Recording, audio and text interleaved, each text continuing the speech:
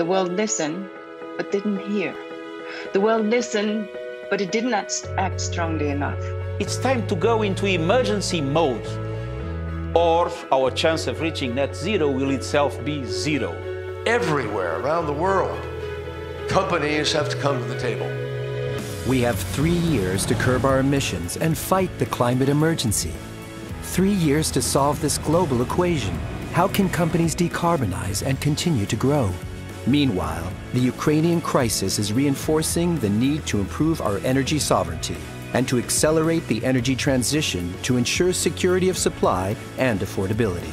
Businesses around the world know they must invest in solutions to decarbonize. In fact, 85% of companies worldwide have committed to lower their carbon emissions, but only one out of four are on track to do it. You may be wondering how to prepare for your future, how to reduce your energy consumption, how to procure greener energy.